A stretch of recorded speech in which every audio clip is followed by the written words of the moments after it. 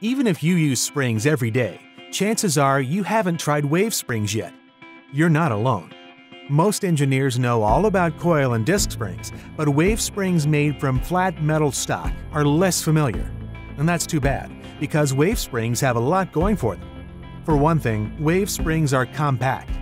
In most applications, they can produce the same or greater forces as coil springs that are twice as tall. This axial height advantage comes in handy whenever you have limited room for a traditional coil spring. Consistency is another big plus for wave springs. You can see on these load deflection curves that wave springs offer a much more predictable, consistent spring force than coil or disc springs. You can buy wave springs in a variety of standard sizes and shapes. Custom sizes are readily available too, and without the need for tooling, which reduces lead times and costs. Wave springs have many more design advantages, and you can learn all about them in our latest technical paper.